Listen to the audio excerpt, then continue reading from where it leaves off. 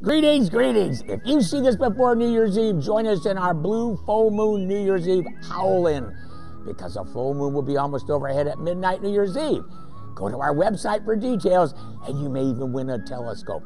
Plus, Mars is racing toward us, and this January it will be at its brightest and closest for all of 2010 and 2011.